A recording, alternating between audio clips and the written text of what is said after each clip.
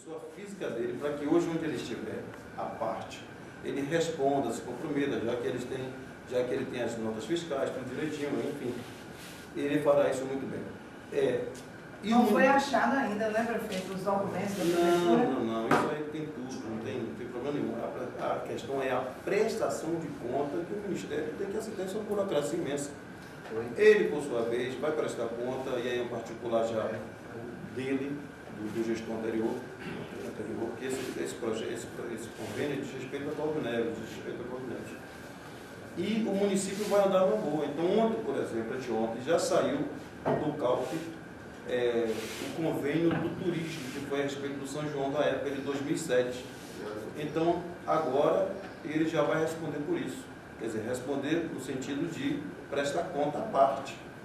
É a prestação de conta, não é que houve roubo na licitação, é a prestação de conta. Isso então é, beneficia o senhor, né? Já que separa então. É, né? aí estou chegando para a de prensa. Aí o outro problema do cálculo, cálculo é o esgotamento sanitário, que já saiu, só falta o abastecimento de água da Rua do da Museu, que foi também da época de Cláudio, que trouxe esse projeto para Dede Moreiras. Então, só precisa ser prestado conta, mas nós já entramos assim, com ação administrativa, requerendo a, a, a cobrança para o gestor anterior e deixando o município adplente para poder caminhar com a sua vida própria. Então, esses projetos aí não tem mais impedimento algum. O único, o único problema que nós temos é só o parcelamento da Embasa, que a Embasa, já conversei várias vezes com o diretor da Embasa, é, e com o técnico também do Toivan, lá no centro administrativo, e a gente está apenas negociando um valor para o município pagar e vou comprometer também a despesa seguinte, porque eu vou parcelar uma débito, eu não posso pagar de 10 vezes para comprometer 10 mil por mês. Aí eu deixo de fazer até a campanha que precisamos fazer é, na questão da educação ambiental, que já foi proposto aqui pela nossa né? Renalisa. Então, são, a gente tem que a gente tem que equacionar a situação. É a situação. Distribuindo também a receita muito bem. Então eu posso pagar 3 mil, 2 mil reais por mês. Vou pagando. O importante é estar em dias. Devo não nego, pagarei é, como puder, né, prefeito? É um município, deve. Prefeito, rapidinho. É, então, só para encerrar essa prova para o Marcelo aqui, nós temos, falamos de, da infraestrutura. Né? A infraestrutura hoje nós temos é, essa pavimentação e recuperação cerca de 10 milhões de reais. Nós temos no Ministério de Integração, que eu falei no início com vocês, cerca de 6 milhões de reais, que é para o CAIS, tá aqui de Ponta de Areia Moreiras. Nós temos também buscando, estamos buscando no Ministério de Turismo, e falei para vocês, cerca já está previsto para empenhar cerca de 2 milhões de reais, que é uma batalha que nós temos feito, tido, juntamente com o Leomanto, e Lúcio Vieira Lima, certo? para a revitalização da orla de Ponta de Areia Moreiras. Nós temos tido também, é, cerca da educação, nós falamos da escola, as quadras e um ônibus que adquirimos, eu assinei ontem, a confecção de mais um ônibus desse amarelinho que vocês chamam, para ser o terceiro em breve, com fé em Deus, botar uns 7, 8 ônibus de acordo com o se permitir, e a gente acabar, deixar de pagar ônibus né, que a gente paga hoje ônibus escolares, enfim, se for permitido, a gente tem uma frota nossa, certo? bem mais organizada. Então é o terceiro ônibus que a gente já consegue. Prefeito, o senhor falou aí no deputado Manto e no deputado Lúcio Vieira Lima. Serão nossos candidatos? Não estou dizendo assim que vai ser os candidatos. a gente não tem representante, infelizmente, tem, né, nossa cidade. Tem. Devo ajudar todos que ajudarem Itapaí. Nós temos uma luta nós temos. Nós temos o ventilador que estou pagando Nós temos luta hoje árvore e a senadora da Mata, ela que está pleiteando junto com a gente essa questão do gás é, dentro de Moreira é, nos deu uma emenda no valor de 250 mil reais para a reforma da prata de Amoreiras. É, então eu, eu devo a muita gente, né? O município deve. O senhor deve estar aumentando, então, né, Pepe? Mas, mas a gente tem que pedir mesmo. São pessoas que estão fazendo com amor, com carinho, que acreditam na nossa gestão. E nós temos a participação também de Edson Pimenta, do PSD, Rogério Andrade, todos eles estão ajudando, agora mesmo a máquina do Débora também veio para ajudar, nós temos... E cada lado seu puxa um pouquinho. A gente, a gente quando chama uma festa de aniversário, É. antes dá um pedaço de bolo para cada um. Mas eu não estou vendendo Itaparica, eu estou simplesmente pedindo ajuda a essas pessoas que ajudam Itaparica como um todo. E a gente vai poder saber distribuir, ajudar todos também que ajudam Itaparica. Vou ver quem é que pede mais. Se é o senhor ou Dalva da biblioteca agora, né? Porque Prefeito. Dalva é outra bidona. Sandra falar? É, sobre a conscientização, a escola já faz esse trabalho com as crianças.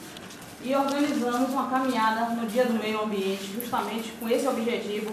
Só que, infelizmente, foi no dia da chuva, não pôde acontecer a caminhada, nem os outros dias da semana por causa da- das chuvas e da lama. Eu gostaria de fazer uma pergunta ao senhor. Em meio a tantas dificuldades que a prefeitura eh, se encontra, não foram todas as casas de Ponta de Areia, né, que foram alagadas. Aquelas que estão à margem do rio. Não tem como a prefeitura fazer esse levantamento juntamente com a Secretaria de Ação Social e eh, dar uma ajuda a essas famílias que tiveram suas casas alagadas devido a estar no nível baixo, o alicerce. Então a prefeitura daria uma ajuda material, né, pedreiro, para levantar né, o alicerce dessas casas, para amenizar a situação, porque seria de emer- emergência e mais barato do que a obra do Rio, que é uma obra cara. Não tem essa possibilidade, pelo menos por etapa, que não vai ser todas as casas de vez, mas pelo menos por etapa, uma casa ou duas de cada vez, que levante o alicerce dessa casa para quando chover e o rio transbordar, a água pelo menos não invadir as casas. Principalmente a rua do Rio, né? É, Essa rua Deixa do eu, Rio. deixa eu até Se possível, utilizar esse né? momento e, e dizer assim que eu, quando falo em emergência, eu disse a Luísa, eu já fico até assustado. Porque no ano passado eu decretei uma emergencial devido à situação que estávamos vivendo, da desorganização financeira, desse mundo de débito que tínhamos a pagar, e eu fui censurado até pela própria justiça. Mas ninguém vem viver o que você está vivendo. Ninguém contempla, até mesmo aqui, a, a, a repórter Tereza, ela filmou ponta de areia ali, olhou e perguntou, será que isso é emergência? Mas, Tereza, Foi.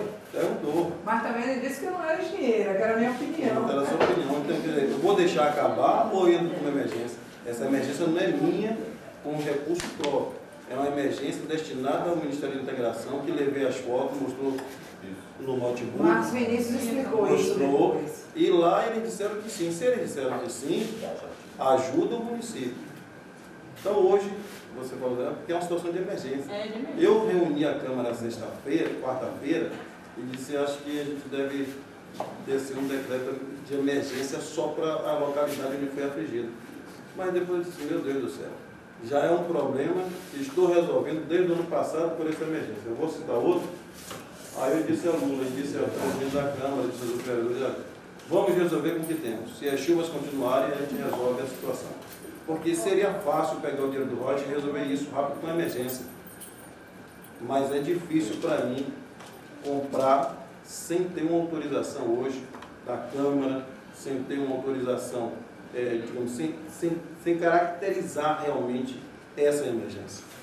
Então, eu procurei doar os colchões, a gente tem licitação de cesta básica, a gente pode também ajudar nas famílias que Está perderam alguns precisando que alimentos.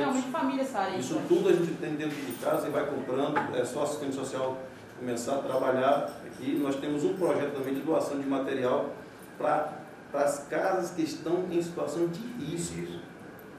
De risco. Então, esse assunto aí, a gente tem que ver se faz uma alteração na, na lei e aí contempla isso aí. Seria o ideal, porque a chuva vai, gente- com certeza vai gente- chover mais ainda. O rio vai transbordar. Verdade. Como não vai resolver a situação do rio, agora, o essencial para essas famílias que tiveram suas casas alagadas e não tem condições nenhuma de reformar a sua casa, é pelo menos levantar né, o alicerce para que quando a água venha, não entre dentro de casa. Que esteja a rua alagada, mas dentro de casa pelo menos esteja seca. A comunidade, se, a comunidade se unindo, Mas tem, Jorginho ajudando não a teve fazer, nós temos procurou meio de disponibilidade todo o fazer. material. Mas as outras pessoas, Todo o material, a maioria das pessoas aqui não tem condições de Sandra, é, o que o prefeito está dizendo é o seguinte. A comunidade, nós, os unidos, ele doa o material. Mas é isso. Já é uma ajuda. É muito, muito, é isso. Muito grande Muito grande. nesse sentido. Porque nós temos pessoas na comunidade aqui, Tem pedreiro pra fazer um- que vai e faz pedreiro. Para fazer um, A comunidade é, é um unida. mutirão, fazer um mutirão. Tendo material, a comunidade tem vários pedreiros aqui, tem pessoas que podem fazer Com um certeza. mutirão. E quem não, quem não sabe fazer, pode pagar um pedreiro para fazer, né? Mas não trabalhei material, tirão, é fui o primeiro passo, né? realmente. Um grande ajuda. Agora, realmente, aquelas pessoas que tiveram suas casas